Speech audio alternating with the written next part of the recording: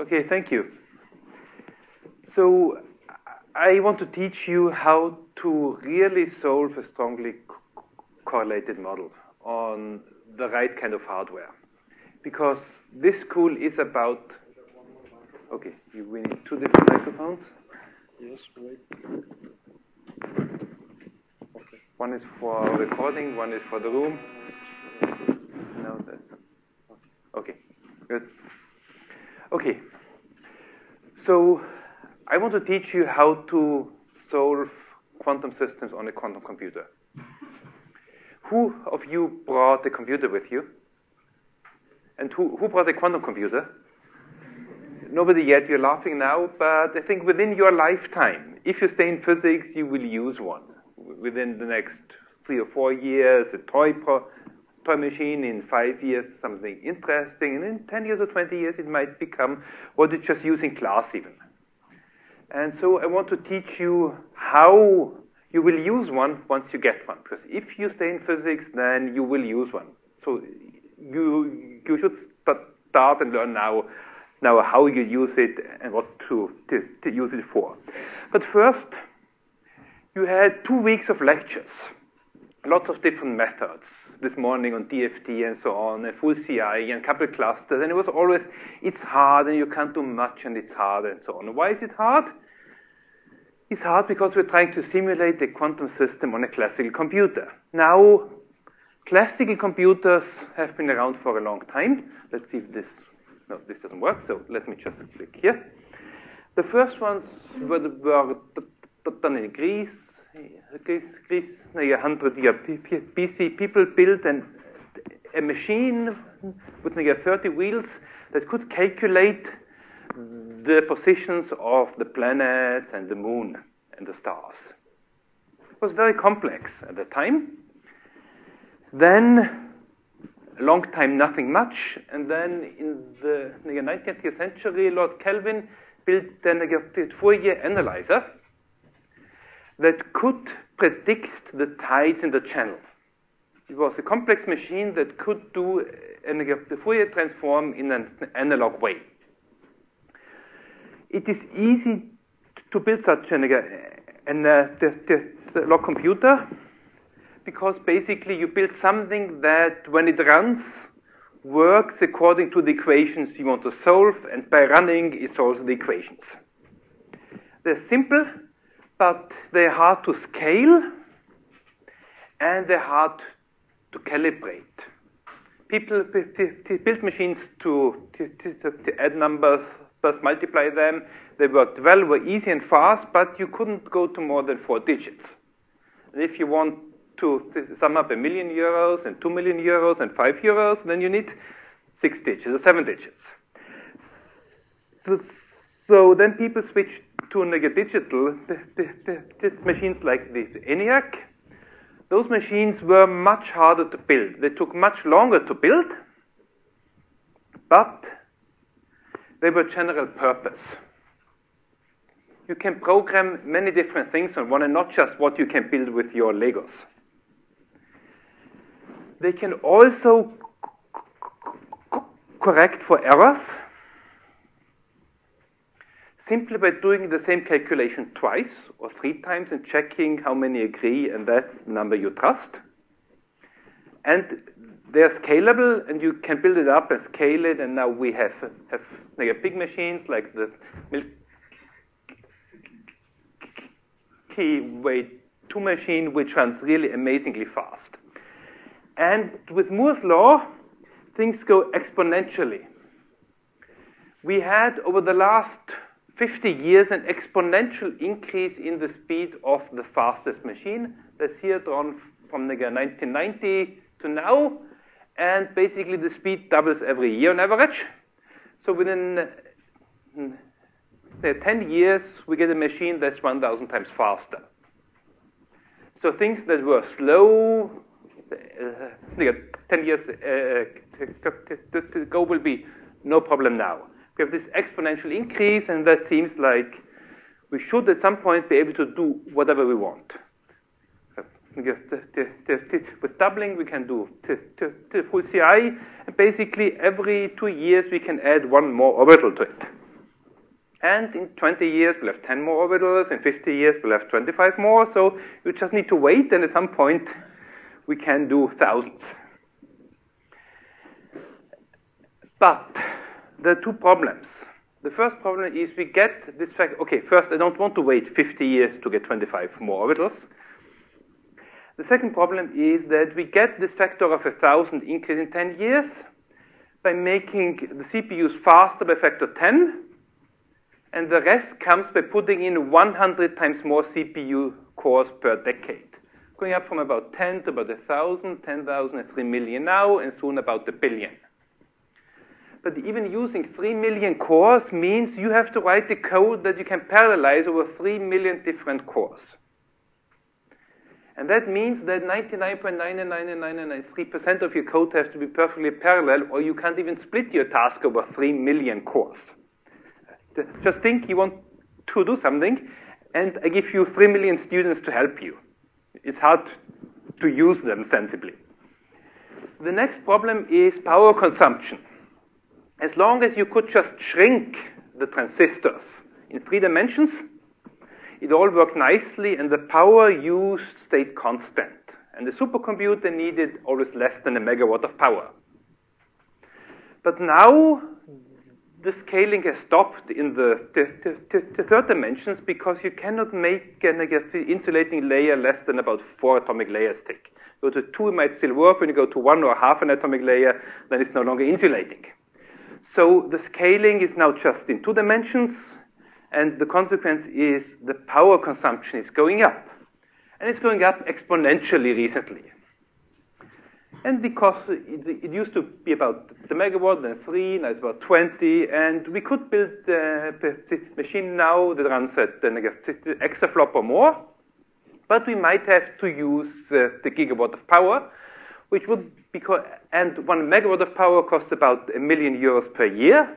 So a gigawatt would cost about a billion euros per year just for the power bill. I don't think we get that money for our calculations. So there's a problem here.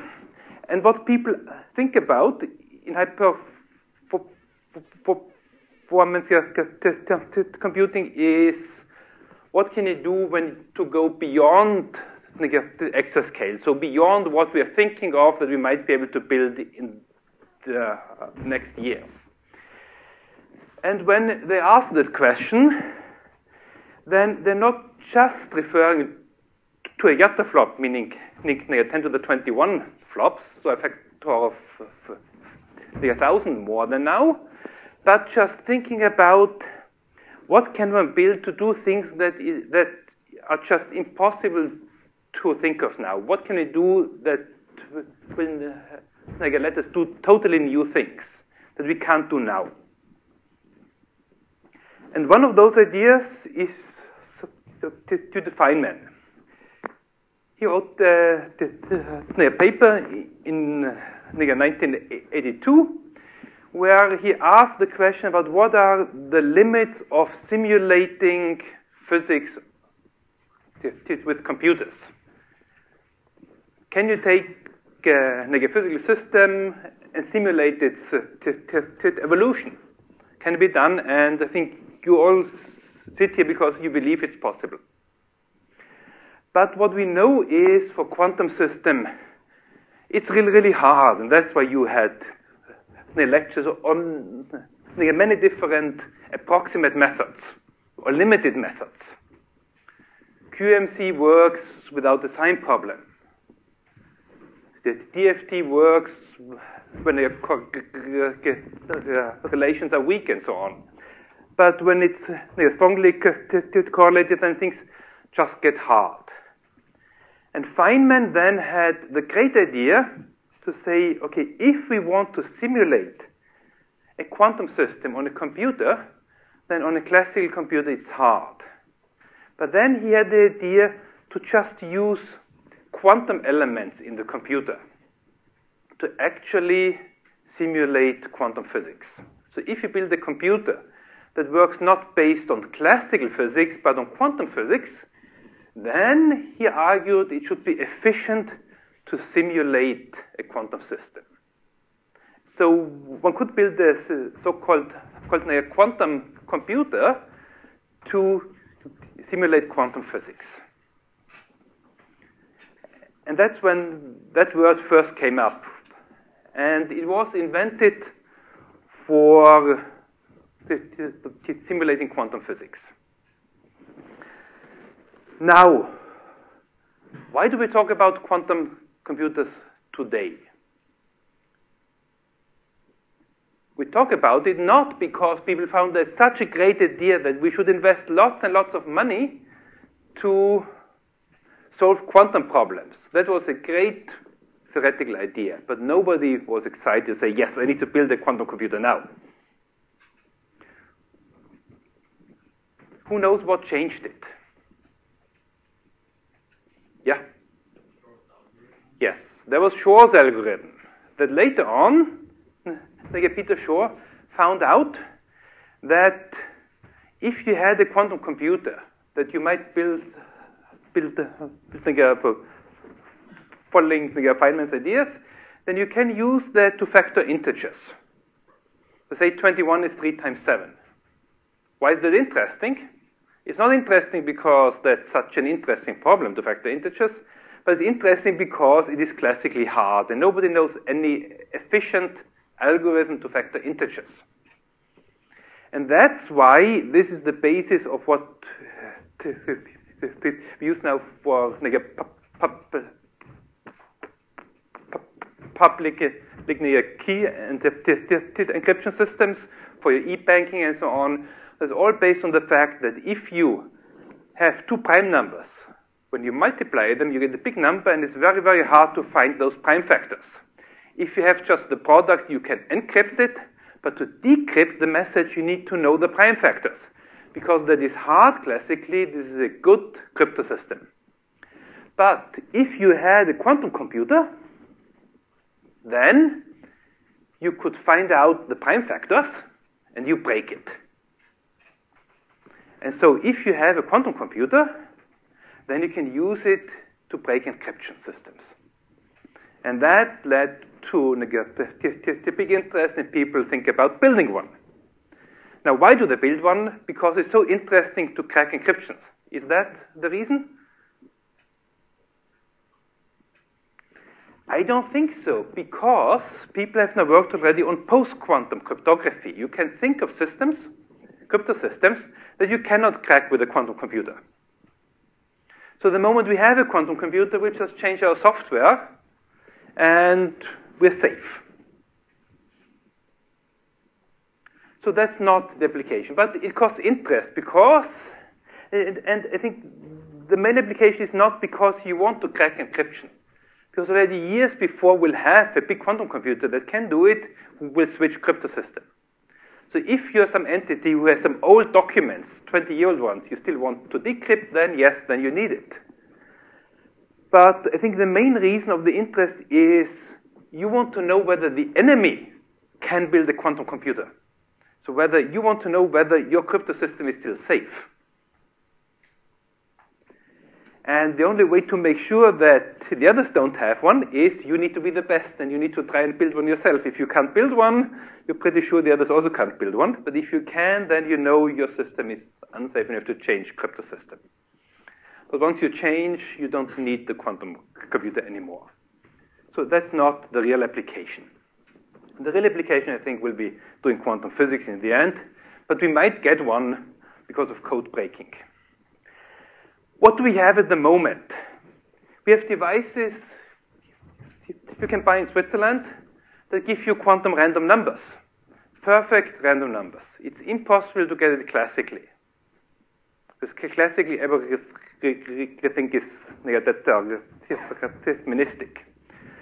You can do quantum crypto systems. You can encrypt information using think quantum mechanics that it's, it's, it's provably safe. You can build uh, a quantum simulator that's an, an uh, lock device using, the, for example, the quantum gases to simulate a quantum system. Again, like in the classical world, analog is easier to build. These things exist. already now for uh, like millions of particles. But like in the classical case, they're limited by calibration problems, cooling and temperature problems. And you can only build whatever the particles, the Legos you use, have as their couplings interactions. It's not flexible.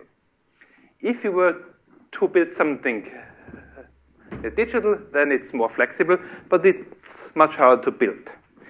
You might have heard about D-Wave, the quantum optimizer. We don't really know yet how much such a system could do. They built one just because it can be built now. It works. It's not faster than a PC at the moment. How it scales, nobody knows yet. But what we know is if we have a quantum computer, then, we, then there are many things we can do that we cannot do classically. But this takes a bit longer to build. But if we have one, okay, let me just stop here a bit now and ask who of you knows what a quantum computer is and how it's built and how it works. Besides Bela, you should stop talking. You're building one, aren't you? who of you is building a quantum computer? Who of you has used a quantum computer? Who of you has heard about the quantum computer? Who knows how it, oh yes, I told you about it now. Who knows how it works? A few. Okay, so basically it's a computer, like a classical one, but instead of bits, it uses quantum bits or qubits. And classical bits can either be 0 or 1, and the qubit is something that can be in a quantum superposition of 0 and 1. So it can be something like alpha times 0 plus beta times 1. And we all know that that's just the simple spin half system. Just like alpha times upspin plus beta times downspin. If you know what the spin half is, then you know what a qubit is.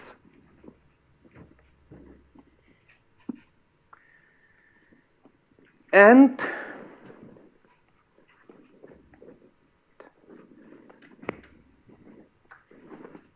why does that make a difference? In classical computing, there's the, the Church-Turing thesis, which states that basically every type of classical computer you could build is essentially equivalent, be it a cell phone, a computer, a Turing machine, it makes no difference. They all can basically do the same thing efficiently. And solving quantum systems is hard. What Feynman said is that if you take such quantum bits and build a quantum computer, then you can do things that no classical computer can do efficiently. And basically, you see that already here. Classically, we have one bit. In a quantum bit, I need two complex numbers to store the state of one qubit. Of course, alpha squared plus beta squared has to be 1. So it's just then a uh, bit fewer numbers. But if you want to precisely store it, you need infinite precision. So you need to know two complex numbers to infinite precision to just represent the state of a single qubit. Now, we might not want it infinite, so just we need to store two complex numbers. What if we go to n qubits? When you go to n qubits, then you have n spin 1 half, and we need, of course, 2 to the n complex numbers to store the state.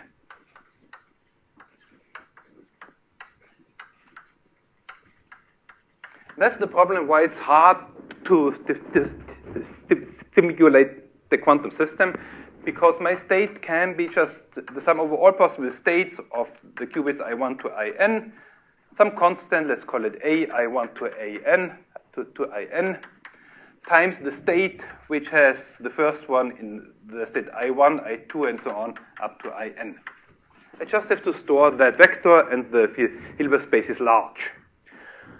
So you see, a quantum register of n qubits, if I want to describe its state in a pure state, needs 2 to the n complex numbers.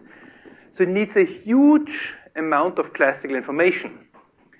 That tells you that it might be able to do much, much more than any classical computer. And you could think you have exponential advantage. But it's not so easy because the problem is what can you obtain if I give you these n spin 1 halves, these n qubits? Let's say I give you n qubits. How much information can you tell me? You can measure the qubits, right? That's all you can do. And when, but, and when we measure a qubit, we get either a 0 or a 1. We just get a classical state. I measure this, the second qubit, I either get 0 or 1. So when I measure the measurement gives only n bits of information. So to describe the state, I need 2 to the n complex numbers, and he has this immense information need to be described. But when I want to read out something, I get very, very little, namely just n classical bits. Just n bits. That's what's written here. I think this screen is in the way, is it? Yeah. I don't think we can move it. We can just tilt it. Yeah, that's all. So that shows you that it has immense power or potential, but it's very limited at the same time. And that's actually the good news because some magic solution doesn't exist. There's, there's no magic device that can do anything. But because this is limited but still has this potential, it might help us. So, the next problem we have. So, this is the good news, the bad news the next bad news is called no cloning. Who knows about the no cloning theorem? About a third. No cloning simply means if I give you this quantum register here, and I ask you to make a copy of it, it's impossible. We can't do it. And it's basically easy to, to, to see the, the, the, simplest way is uh, it takes some state psi that you want to copy, and I give you some empty register as well. Let me call it zero. And what I want to do from this, I want to create psi in the copy of psi. And the easiest way of seeing that there's a problem is I might just want to start with a 0. And 0, 0 has to go over into 0, 0. And 1, 1 has to go over in, no, sorry, and one, zero goes over into 1, 1. I'm copying the 1 here now. And now I apply the same cloner to a superposition. Then if I apply the cloner to alpha 0 plus beta 1. And 0 then, I just get the superposition of these things. Then I get an alpha times 0, 0 plus a beta times 1, 1 which is not what, what I wanted, because what I wanted was psi psi, which would have been alpha times 0 plus beta times 1. And the next one is also alpha times 0 plus beta times 1. Yeah? Why has it to be linear? Why does it have to be, be linear? Can you do something nonlinear? Okay, we, we can try. Let's say you give me something, some magic thing. Let me prove. That is not possible. And the way I prove it is it should be able to clone any arbitrary state. And whatever it does, it has to be unitary. So let me start with the state psi 0. And I calculate its norm. And I take another state, phi, for which it should work. Should work for any state that I give you, because you don't know the state beforehand. So let me calculate. So, and we have your cloner. The cloner takes this over into psi psi. The cloner takes this into phi phi. Right? And the cloner does not change the norm. It's unitary. It does not change the, the, the, inner products either. So let me apply this to, and let me calculate the inner product of these two. That inner product is 0, phi, psi, 0.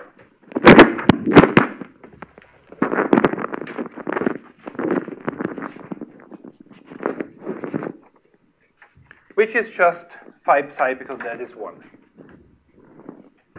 that has to be the same as the inner product after my unitary cloner, which is phi psi, which is phi phi, psi psi, which is phi psi squared.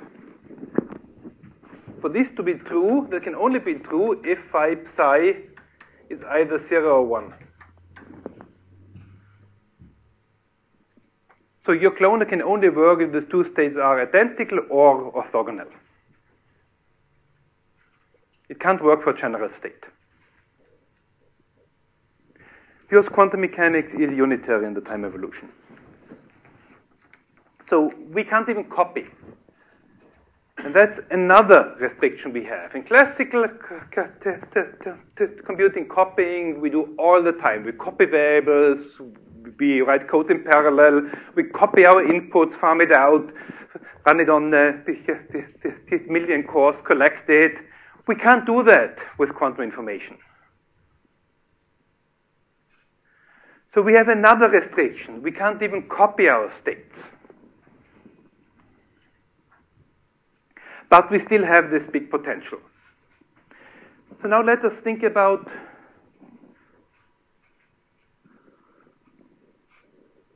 Okay, let, let's say we want to describe what such a quantum computer does on a classical computer. If you want to store the state of 10 quantum bits, I need to store 2 to the 10 complex numbers, which takes 16 kilobytes of memory. My watch has more. I can simulate the, the unitary operation on that in microseconds. So with 10 qubits, my watch can do it easily. If we have 20 qubits, it takes megabytes of memory. It takes milliseconds on my phone. Could do it here. If you have 30 qubits, it takes 16 gigabytes. Okay, it needs a big laptop, and it takes seconds. Now it's getting slower. I need my laptop. With 40 qubits, I need 16 terabytes. That's a big machine, and it takes minutes. With 50 qubits, I need 16 petabytes of memory. That's kind of the biggest uh, machines that exists. And I need it for days just to do a single operation. With 60 quantum bits, it needs 16 exabytes. We don't even have that yet on any machine. It would take a very long time. If we go to about 80 qubits, the memory just fits into the, visible universe, and the time is longer than the, the age of the universe. So when we go to 80, 100, or 200 qubits, then we just have no way to simulate what it does. So we have this thing here that's basically spin one halves our quantum bits. And we can do two things on that. And once we have more than about 50 or 60, then this thing can do things that we cannot simulate classically. The challenge is what would we use it for? And where are we? How do we get such qubits? Who, has a qubit at home? Or in the lab, or has a friend who has a qubit? You can use, uh, yes, uh, superconducting circuits, use fluxes, for example. You can use, what do you say? Ions. Yes, you can encode it in the motional state of ions. You can even use quantum spins, spin up and spin down. That's quantum spins. You can use many things. The problem is we want to isolate them totally. Because I want this qubit to stay coherent forever. We basically want to build the Schrödinger cat. Who has seen a Schrödinger cat? Nobody yet. Because it's hard because of something like decoherence. So you want to actually have something very, very isolated. The best ones are bit, bit north of here, here the ions. In, in the, the like Innsbruck group, they have they have 20 ions trapped nicely, isolated. When you don't touch them, they stay coherent for many hours when you work on them, you can do about 100 operations, and then they start to decohere. They might go up to about 40 or 50. That will take about five years, they guess. The operation times are slow. It takes microseconds for getting the operation while your laptop runs at 0.3 nanoseconds of gate times. Superconducting qubits are much faster. They live much shorter, about, about 100 the microseconds only. But the gates are much faster, so you can still do about 100 operations as well. It's easier to scale them. You can, you can take a trap and you trap in it 20 ions, maybe 50. Well, beyond that means you, pull, you use more boxes. Superconducting qubits, you build on a chip and you can more easily scale it up. But the more you build, the more noise there is, the more coupling there is, and it gets harder to keep it nice and clean. You could go much better if you have had the, topological qubit. I think Bela is working on one, or his companies. The idea there is if you can encode the qubit in, in uh, a topological property of the quantum state, then no local noise can know the state, and so, so no local noise can actually destroy the state as well. And you can do that in principle if you find the, Majorana anyons. They, they, they, may exist in some quantum wires. We don't know yet for sure. If they exist, then these might live much, much longer and would make it easier to build a quantum computer. But we don't know yet. So we are that we have about 20 quantum bits so far, and we might soon have 30, 40, 50, or 100. Once we get to 100, it starts getting interesting. So what do we then do with it? Let's do that. And so the first ingredient are the qubits we need. The second ingredient is we need the a classical computer to, to control them. And the third ingredient is we need to actually do something with the qubits.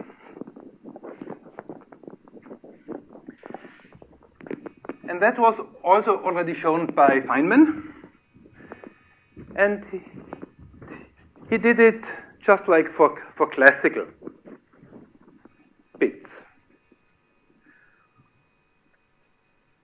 What do we do with classical bits? If I give you a, a, bunch of classical bits, how do you compute something with them?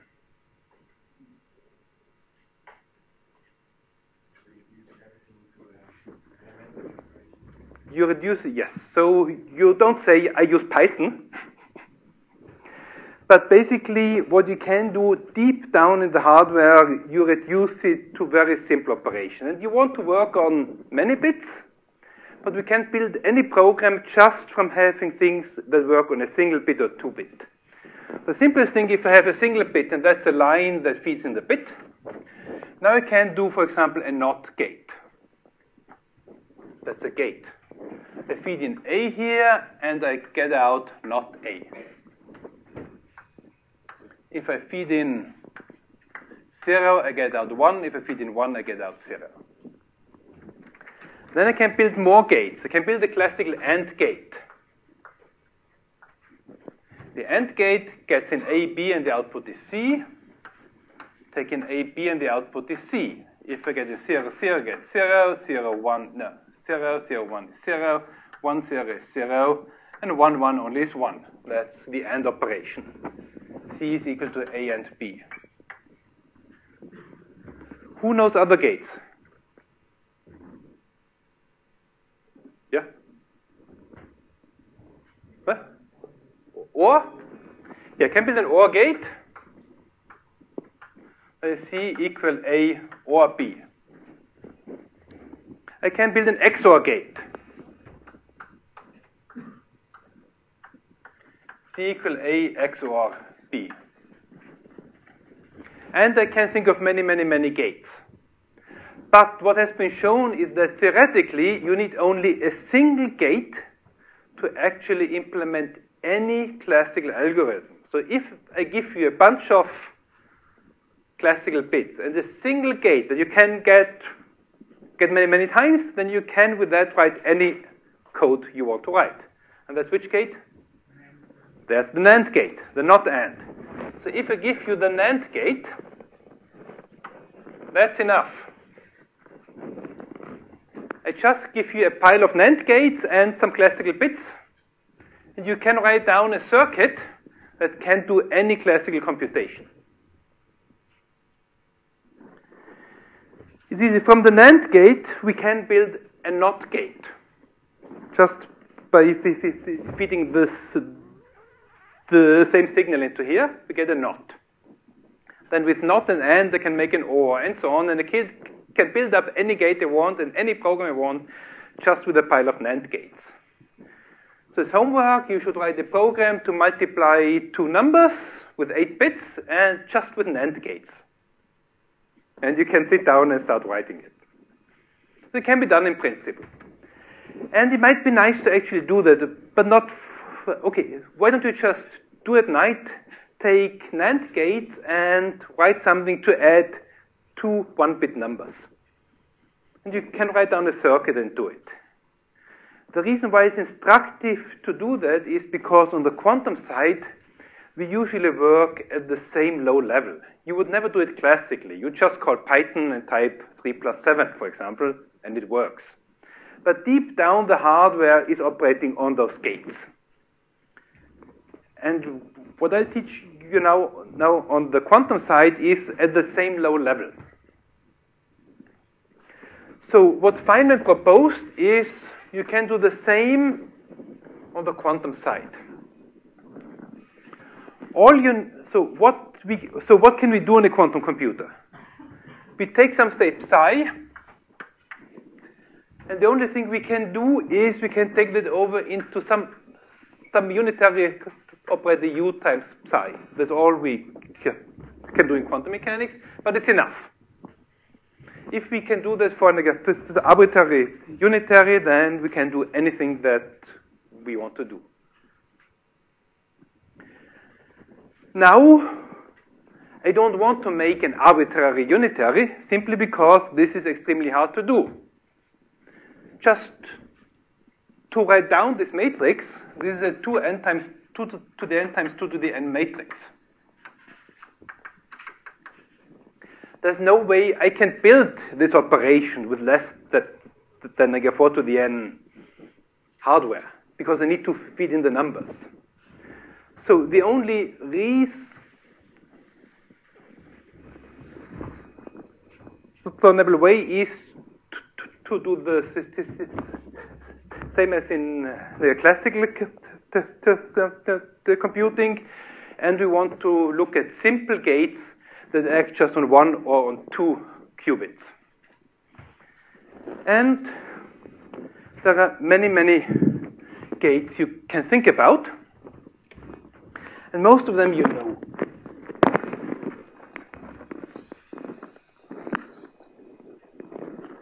Let's look at single qubit gates first. You can take in a qubit, and I can apply some unitary operation to it.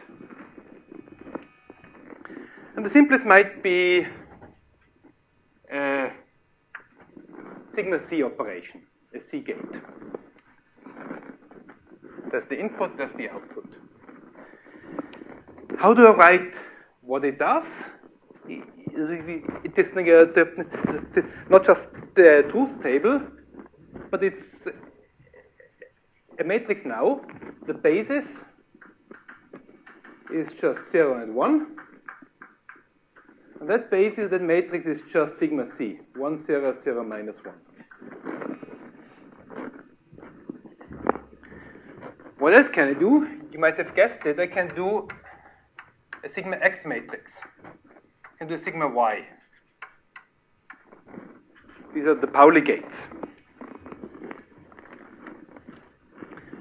For these gates, I cannot build any arbitrary matrix. What I can do then is I can do next to the Hadamard gate, gate to H, and that is a matrix 1 over root 2 times 1, 1, 1 minus 1. And what that does is it changes the state. So that for a spin flips the z axis to the x axis. So this takes the state 0 into 1 over root 2 times 0 plus 1. And it takes the state 1 into 1 over root 2 of 0 minus 1. So it takes the plus x state, uh, sorry, the plus z state into plus x and the minus z state into minus x. Then there's something which I call the HY gate, or it's sometimes called Y basis, or sometimes Y. That is, so Y might might mean uh, more things. That is 1 over root 2 times 1 I, I 1. That takes the plus z state into plus y, and minus z into minus y. Then we might do more. We might apply phases. So you can do a phase gate. Let me call that theta. That phase gate just does 1, 0, 0, and e to the i theta.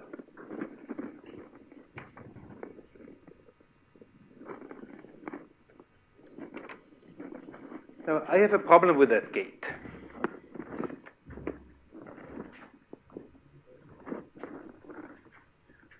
Who sees a problem with this gate if I want to build it? It's unitary.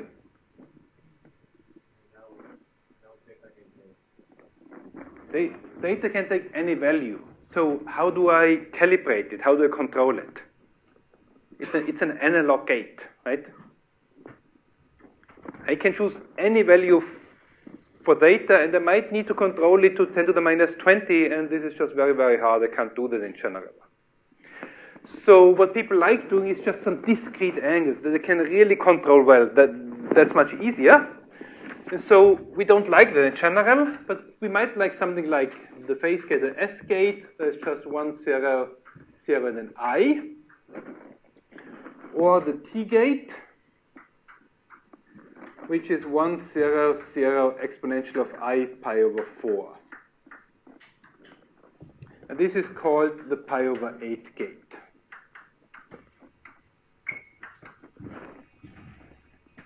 That's not a typo. It is called the pi over 8 gate because it can also be viewed as a rotation along the z-axis, and we might do a rotation RZ of some angle theta, which you might define as exponential of I theta over 2 of, of I theta and exponential of minus I theta. That's just a uh, rotation around the z-axis by some angle theta. And if you choose that angle to be pi over 8, then it's the same as this up to a global phase that's trivial. Now, many papers don't define the rotation gate this way, but with a division by 2 here. Are various the conventions that you may want to keep track of and check in the paper that you read. Then we can do a rotation also around the x-axis. And one around the y-axis, and so on and so forth. And we can build up many, many, many gates. And of course, it's not nice having so many gates, so we want to simplify it. We want to reduce it to as few gates as possible. That we don't have to build hundreds of gates. And one way to reduce it is easy to see if I want to rotate something around the x-axis. Let's say I have a qubit. I want to do a rotation around the x-axis with a certain angle. Then I want to, but I don't have the rotation around the x-axis, but I have the other gates. What can I do? Huh? I, I change the basis from x to z to the Hadamard gate. Now x is z. Now rotate around the z-axis with that angle. Then into another Hadamard gate. And uh, so I don't need this. And so on. And one can then show that it is sufficient for one qubit operations to just have the T gate and the Hadamard gate. With those two gates, you can, can approximate any one qubit operation exponentially one. So in principle, it is enough to have the H gate and the T gate. And those two gates you have to build well, and those two gates can be built well using think, they are topological methods. Yes? If you have a discrete set of gates, you can only ever create a countable number of rotations. Right? Trivially. I thought uh, equals to unitary matrix only have a finite number of independent elements. You have an uncountable number. You, you have complex entries in it, right? And there's an uncountable number of entries. But now I want to approximate it, like I uh, approximate the, the, the, the the, the, rationals. And uh, the question is kind of how many of those gates do you need to get to, to within some error? And you can make the, and the, error is exponentially small in the number of gates that you choose. That's the, that's the so-called called, Solovay-Kitaev theorem.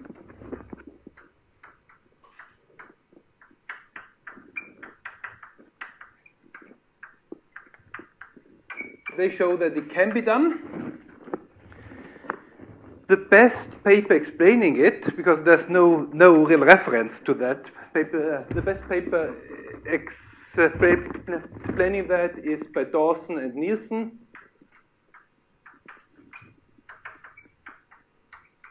That's in quant-ph on the arXiv.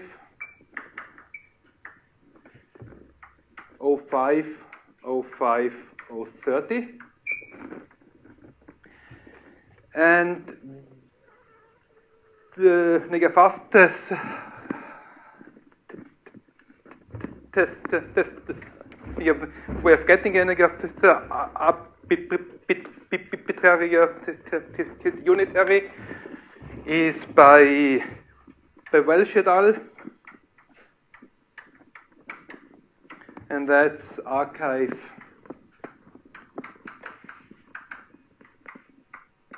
1412.5608. They got it down to the shortest sequence of gate, gates that's known to, to, to, to, to approximate any one qubit unitary. Now, so far we thought only about single qubits.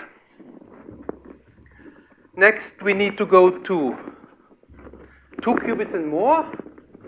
And that's pretty quick now, because there's only one, basically, a classical gate that you need, which is the control NOT gate.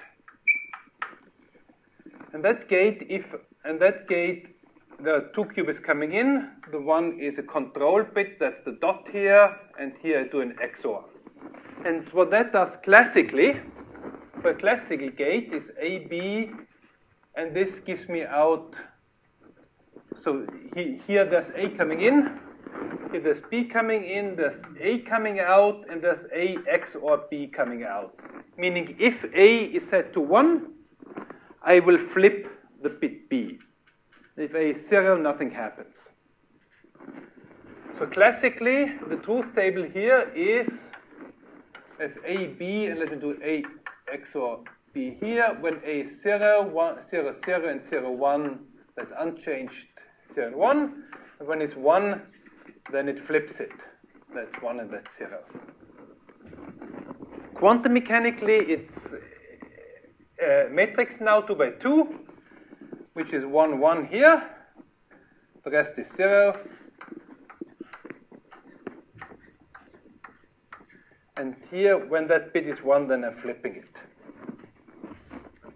So it flips that qubit if the control is set to 1, and it does nothing if the control is 0. So a control NOT. When this is 1, then I do a NOT operation on this one here. And with this gate, and the T gate and the Hadamard gate, the H, where did I have it? With these three gates, you can build any quantum algorithm you ever want to build. But it's at the same level as me giving you just a pile of NAND gates and I tell you write an algorithm to do whatever calculation you want to do. It's very low level. So in okay, what I'll show, we will use a, a bit more, a few more gates. To make it simple, I also will use this Y basis change and I will use an arbitrary Z rotation. If you don't have that gate, then read that paper and it tells you how to, to rewrite it into the H and T gates, a long sequence of them. Which means that any algorithm I tell you, every rotation has to be rewritten into about 100 or more other gates. And if a rotation takes, uh, and if a gate takes on ion traps, for example, 10 microseconds, then such a rotation might already take a millisecond. This machine will become very slow. You have a question? Okay. Let me mention, so before we use it now, and, and do things that are classically impossible to do, which we'll do in about five minutes, I need to mention one other problem we have. Not only that things are slow and that we can't copy and that we can't read out much, but there's also the problem that our qubits are not perfect. I mentioned the qubits we have now. They live for ion traps hours if you don't touch them. They live for about 100 operations if I do something to them the, the super the, the, the conducting ones live for about 100 microseconds. And then the cat is either dead or alive. So we need to, to, to find some way to, to keep it uh, alive, and that's called, called uh, quantum error the, the, the correction. Classically, we have the same problem. Classical memory is not perfect. Classical computers are not perfect. But we fix it by duplicating information. I keep things in memory, and I store an extra parity bit or two parity bits. Or I simply copy it. When I copy it and I have it in three copies, I can keep it forever because when one copy differs from the others, I simply fix it to again be, be like the other two. I can do that because I can copy. Quantum mechanically, I can't copy. So I can't do such a simple code. But there are ways of encoding it that I can fix errors, but it gets much more complex. I don't want to, mention uh, the details, but it can be shown that if you have qubits and gates that are good enough then you can fix, and if you can fix errors faster than they appear, then you can keep a quantum state alive forever indefinitely. But that means you have to be able to fix it fast enough, and that's uh, the, threshold. And if you can do about 100 operations on the qubits without an error, then that is just good enough to, in principle, keep a state alive forever. But if you just add the threshold, it means you need an infinite number of qubits, and you have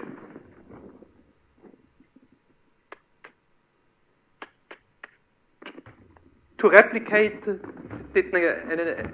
infinite number of times to keep it alive.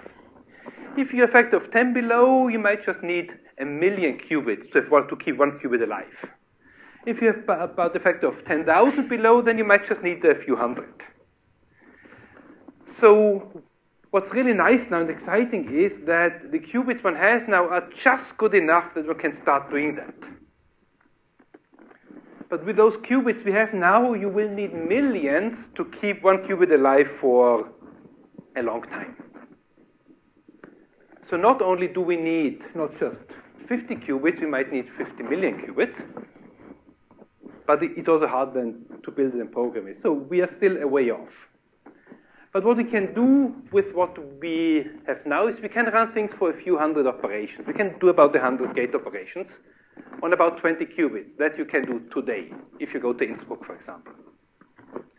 Once we have more qubits that are better, then one could keep it uh, alive for longer. So now, what can we do? Let's say I give you one qubit and those gates. Who has an application? Something that is impossible to do classically.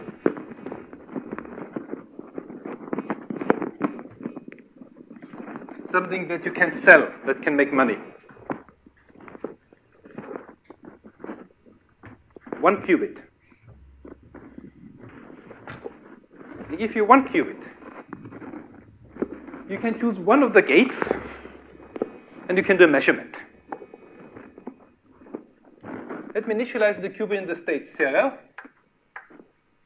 Let me apply a Hadamard gate, and let me perform a measurement. I show that in this way. There's a dial. I measure what comes out, and then a classical bit here comes out. What does this program do? Initialize it to zero, apply one gate and a measure. This is a perfect quantum random number generator. I start from this state, exactly here again the state 1 over root 2 of 0 plus 1. Then I measure. And the outcome of the measurement is, if quantum mechanics is correct, it is truly random. This is a way how you can get two random numbers, which is just impossible classically, because classical physics is deterministic. Here you can have two imperfect random numbers. You can sell it. You can make money with it. Who needs perfect random numbers? Monte Carlo simulation, I would like to have it all the time, lots of them, but it's a bit expensive to buy it. If I'm into security and I want to have really perfect encryption, then I make a one-time pad. I want a sequence of random numbers that I share secretly with someone. Then we both have the sequence, and then I can use that to encrypt it in an unbreakable way. If I'm a lottery and I want to, uh, the, the, the, then I use these balls typically that fly around and pick out numbers. Now that might be biased or faked or somebody could, could manipulate it. If I use quantum lotteries, then it's provably perfect. And nobody can sue me for biasing the lottery. Random numbers. What else can we do? If I give you two qubits,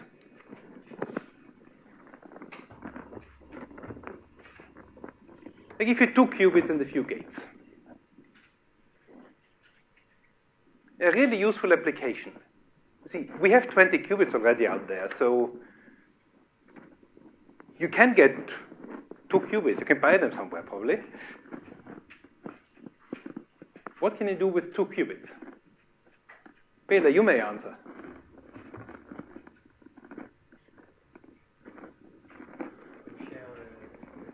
With two qubits, you can start sharing a secret key, yes.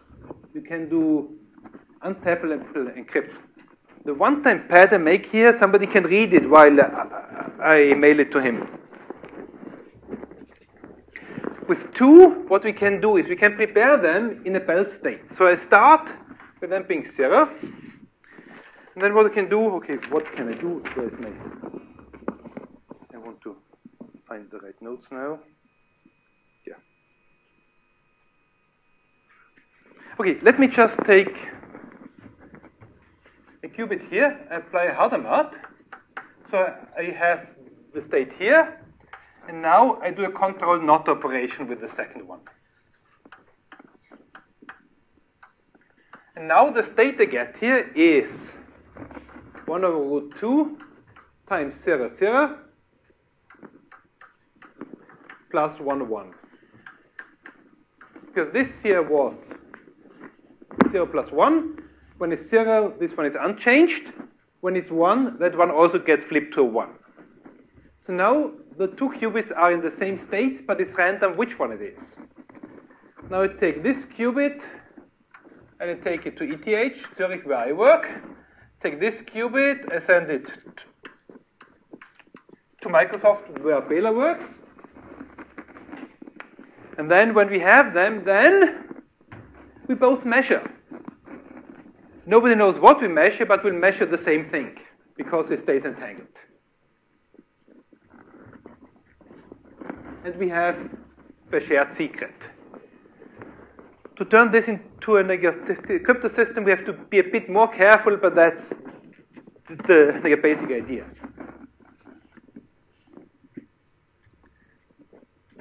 If, if you want to know how to turn that into a crypto system, then ask me in the break. We can not only use that to share a secret, we can also use that for something else.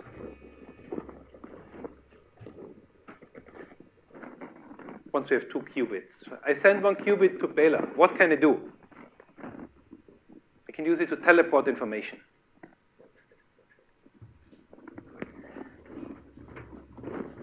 If I send one qubit to Bela and I keep one myself. And then I want to send some state to Bela. And I might not even know the state. Somebody gives me a, a qubit psi. And they want to teleport it to him. What would I have to do classically? Classically, that state is alpha times 0 plus beta times 1. If I knew the state, which I might not know, but if I knew the state, I would have to send two infinite precision numbers to Bela, which, which in principle needs an infinite number of classical bits.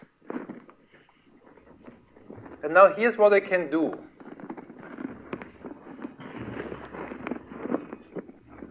Done this here.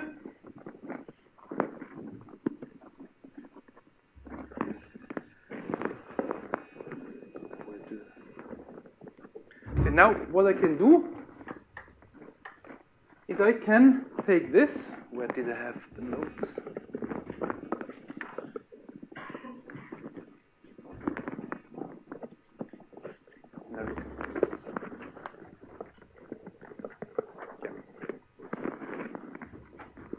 What I do is I do a control NOT gate of my unknown qubits with the one qubit that I had from before.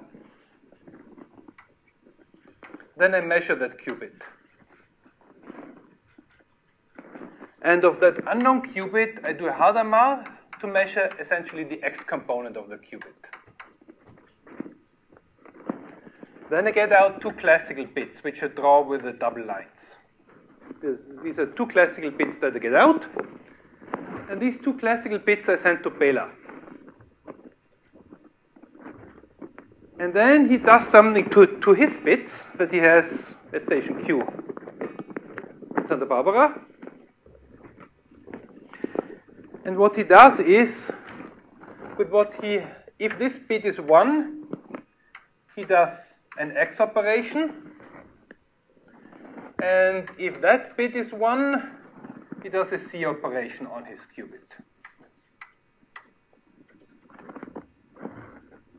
So if I measured 1 here, then he applies a sigma Z. If I measure 1 here, he applies a sigma X. I send him two classical bits. He applies this, and then the magic is that out here comes the state psi. I've teleported it just by sending two classical bits.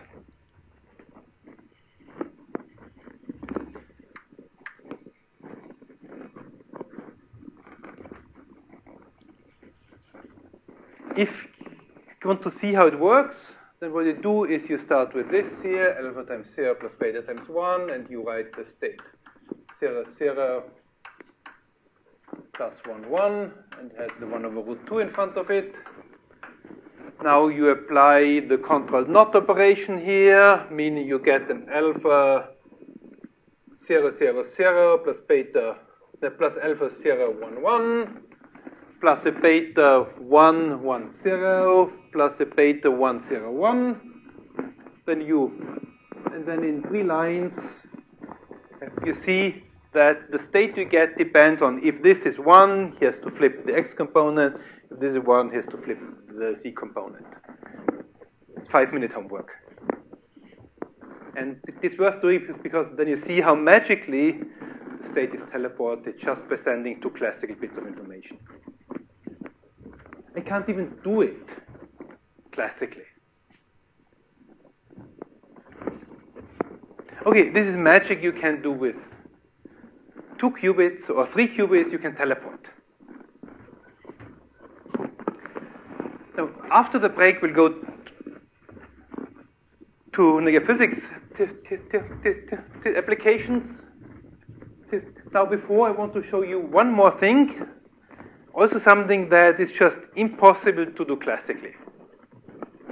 If I just have two qubits.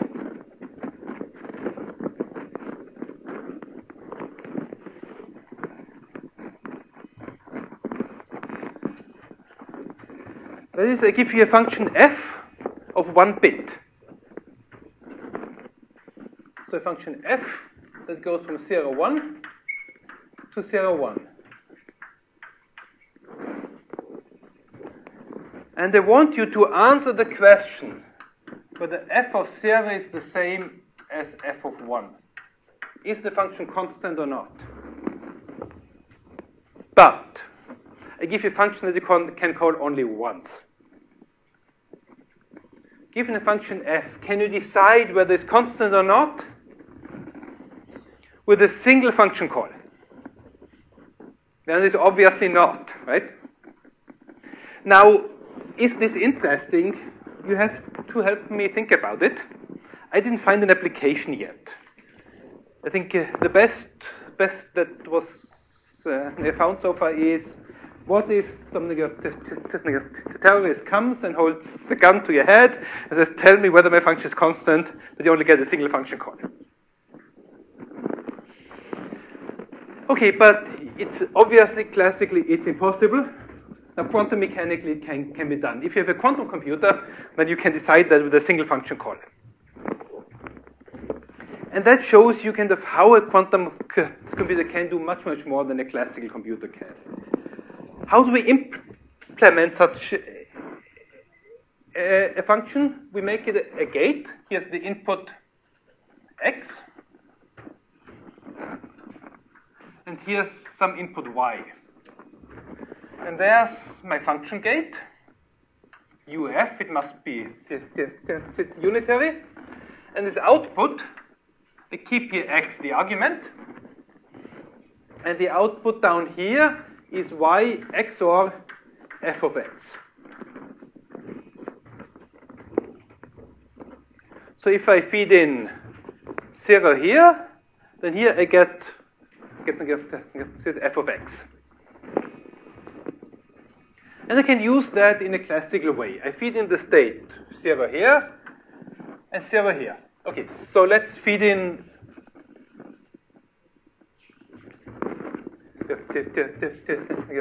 zero here and zero here. I get get like f of zero.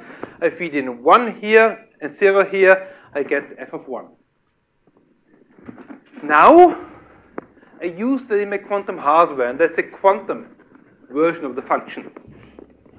And I feed in, not zero, but I feed in a superposition. I apply Hadamard gate here after the zero. So I feed in here the state 1 over root 2 of 0 plus 1. What do I get as output? As output, I get 1 over square root of 2 of 0, and the other one is f of 0, plus 1, f of 1.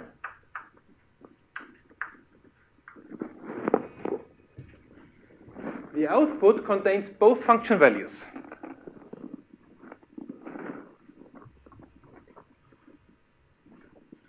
Nice. Or I do that with n input registers, and I get the function evaluated at 2 to the n function values. I have the, the register here with the function evaluated at all possible inputs. I have it for all values at once. So I have exponential advantage over any classical operation. Or so one thinks at first. Because what happens when I measure the output? When I measure the output, the X collapses to a randomly chosen input. And this one just goes to the function value at that point.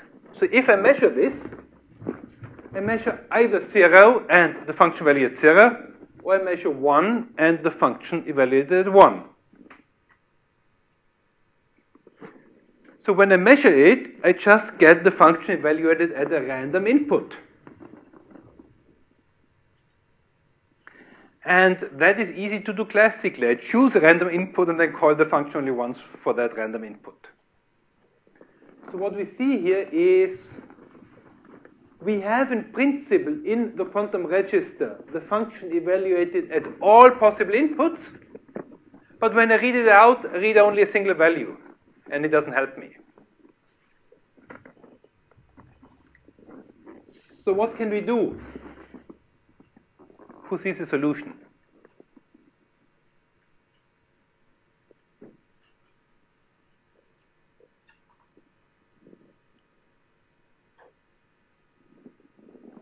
we have to somehow manipulate the output in such a way that the bitter measure gives me the answer to the question that I want to ask, right?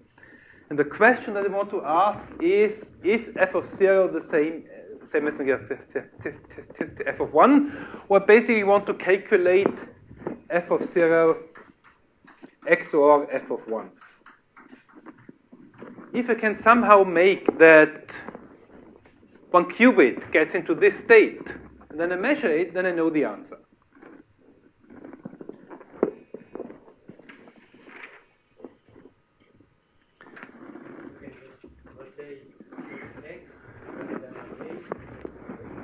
Let, let me rotate the x with the Hadamard gate and then measure it and see what happens. Okay, yeah, that's so let's do a Hadamard here and then we measure it. So what do we get here? Now this is a bit complicated because this can either be 0 or 1. So now we have to make different. Okay, so I do the rotation of the x. What do I get? Get 1 over root 2. Now I do a rotation on the x with the Hadamard. So I get the 0, I apply the Hadamard. So I get the 0, f of 0. Oh, 1 over 2 plus 1 f of 0 plus I get the 1 f of 1 minus a 1 f of 1. Oh, sorry, that's a, uh, the 0. Yeah, 0 plus 1 and this 0 minus 1.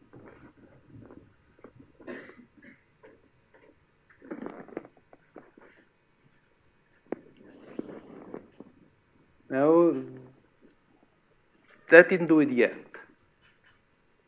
They wanted to do, to do something like this. The trick is, I feed in a 1 here and do a Hadamard in as well. When I do this, when I feed in here a 1 and a Hadamard, and also put that into a super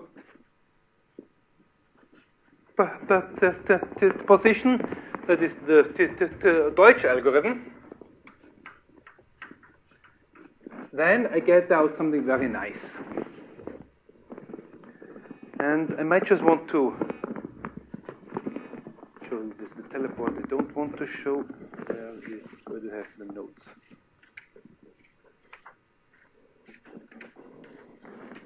Put somewhere, I have it here.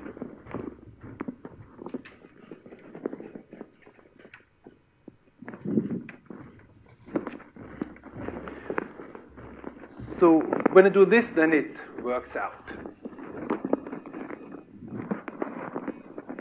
Want to do the, the last bit before the break, and after the break, we then apply two, more than two qubits. So when I have this, then I start from the state 1 half, and the first qubit is in the state 0 plus 1. And the second one was in the state 0 minus 1. So this is the state 1 half, and I get a 0, 0. Then I get minus a 0, 1. I get plus a 1, 0. And I get minus 1, 1. Then I apply the function f to it. This means this goes over into 1 half of 0, and this is f of 0, minus, oh, let me put, okay, minus 0, and this is now the f of 0 inverted because I do the XOR with 1. This gives me 1 and f of 1.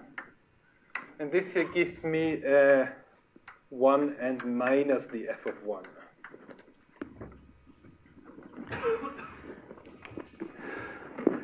now, I don't like this too much because I don't like having the function written in here. I want to have a 0 or a 1 here. But what I can see now is, you see, this appears here as the f of 0 or minus the f of 0 inverted. That means if the f of 0 is 0, then the 0, 0 appears with a plus 1. But if the f of 0 is 1, then the 0, 0 appears with a minus 1. Same here, if the f of 1 is 0, the 1, 0 appears with a plus 1. If the f of 0 is 1, no, so if the uh, f of 1 is 1, then the 1, 0 appears with a minus in front. So let me pull out a minus 1 to the power of f of 0 times 1 half. And then this gives me a 0, 0 minus a 0, 1. And here's the uh, f of 1. But I've pulled out the f of 0. So here, now I can write this as minus 1 to the power of f of 0 XOR f of 1 times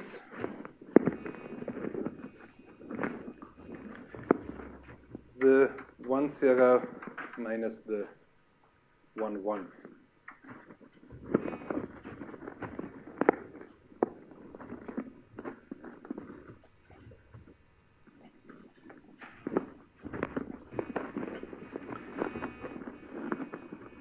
Now we see that the second qubit is always in the state 0, minus 1, 0, minus 1. So this is just the global phase I can just drop away because I can't even measure it. So this is just one half of the first qubit is 0 plus minus 1 to the power of f of 0 XOR f of 1 times 1, and the second qubit is in the fixed state 0 minus 1. Now I want to measure the x component of this. So now I do an Hadamard here, and a measure. And that gives me the value of f of 0 XOR f of 1. That's the magic. That's easy, isn't it? I don't think you agree. What's easy is that this is a very simple circuit. Four gates, one measurement. It is easy to see that if I have a function gate and apply it and I call it with the, the superposition of inputs, then I get a wave function that contains the function evaluated at all possible inputs. But you've also seen that it's very cumbersome to actually extract the information you want from this.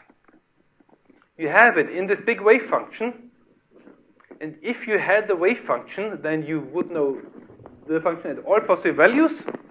But having the wave function means you have to know exponentially many numbers, and that takes exponential time, no matter what. You can't just read out a wave function if I give you a quantum state, but you can, can only read out n bits.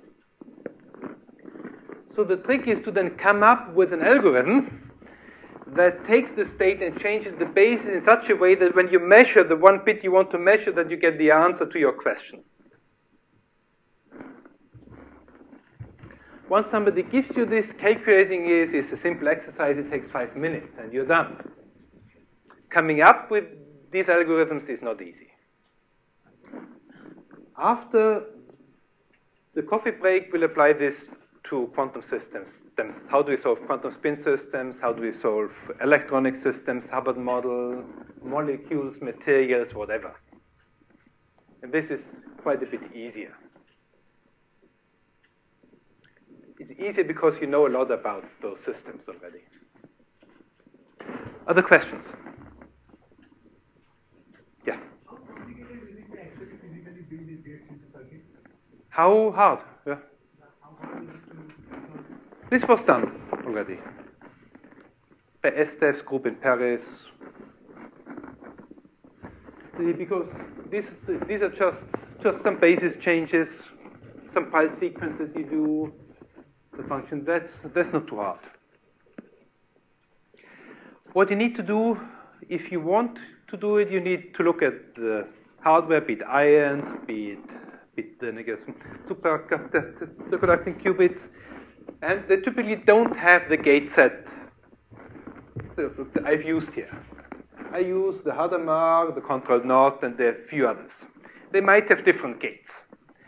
Now what you have to do is here you have to see how can you implement the gates I use in terms of what they can do, then use it. Then you get a big sequence that's not optimized. The trick is then how do you optimize it.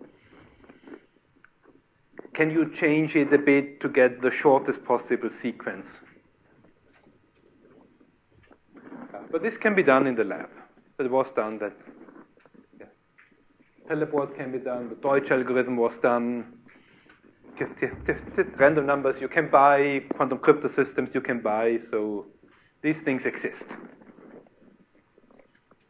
What we do in the next hours is that uh, I teach you how can we use that hardware with two, three, four, five, six qubits, we have up to 20 by now, to solve quantum physics problems. And what would we need to solve things that we can't do classically yet? So when will we use it for real hard problems that, uh, that we can't do yet? And that might already be in a few years down the road. And if you help us with better algorithms, then we might make more progress. But because in five years or ten years you'll have these things, or on nine qubits, you will probably be able to use a quantum computer in the cloud already within the next year, from what I've heard. Yeah. You might have access to 9 qubits somewhere. Of course, 9 qubits is something we can do on a smartwatch, as I said. But at least you can already start using these things soon. As toys at first, and, and then in, in 10 years it will be bigger, and then your student later on will then maybe be run things on a quantum computer and solve problems and do a thesis on a quantum computer. And that's why I'm teaching you now how to use it for the time when we have, we have something really interesting. Right now, it's just cool to use them. In 10 years, they might do things that we can't do on any PC. Yeah. So, sorry, how many? Do we have? None. Uh, Maybe. I don't know. So there are those nanowires in, in Delft. If you take two of them with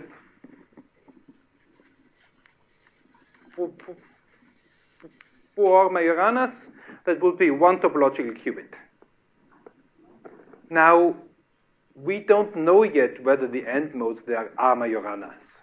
If they are, then they have a qubit. If they're not, then they don't have a topological qubit. What one has to do is one has to braid the anyons in there and show that it is, and that will still take a couple of years. Once one can braid those anyons, then one has one topological long time stable qubit. You need not just the qubits, which you might, which you might have already. But the wires could already be thousands of qubits, but we don't have any gates for them yet. You need the qubits and the gate set. Whether they have the qubit depends on whether the end modes are, are Majorana anyons. If yes, then they are. But they can't really initialize them them yet, nor read them out, nor manipulate them. So, so I think that in a few years we'll know whether there are topological qubits in those nanowires.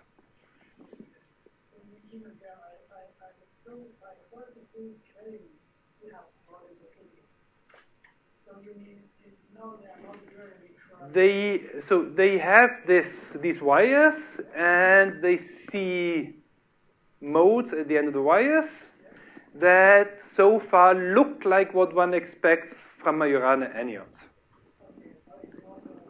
But in order to actually show that those are, negative, negative anyons, one needs to braid them and show that you pick up the right phases when braiding them, and that has not been done yet. That needs to be shown. That will still take a couple of years, I guess. And then either it works, in which case it's great, we have qubits, or if it turns out to be just a boson or, or a fermion, then okay, bad luck, that didn't work out. But those qubits should live much, much longer and should then make it easier to scale. So we don't even have one yet, but if we have one, then it will be easier to scale it up.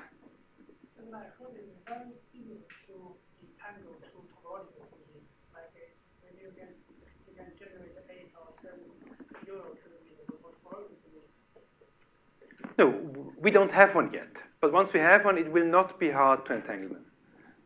You just braid them. You move one around the other, one end node, and it's entangled.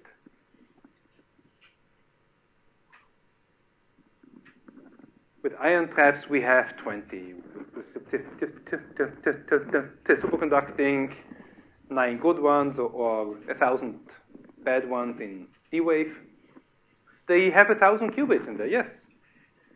They don't live longer than a few nanoseconds, but they manage to scale it up to a thousand, and that's quite a challenge to actually build a thousand that work on the same chip.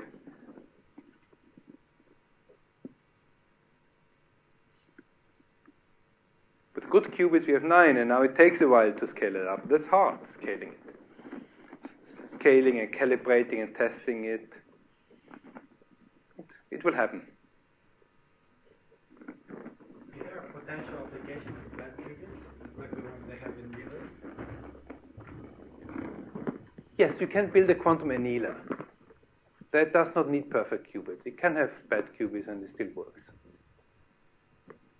The question there is, is it better than a classical computer? And there the answer is nobody knows. They said, okay, it takes decades to build a thousand or more good, logical, stable qubits. And again, well, that will take forever. But there's the chance that using bad qubits, okay, they were the best qubits 10 years ago, so it's not really that bad. But, but what can we do using those qubits that one have if one scales it up and one can build the quantum Eh, annealer with them. A quantum annealer can solve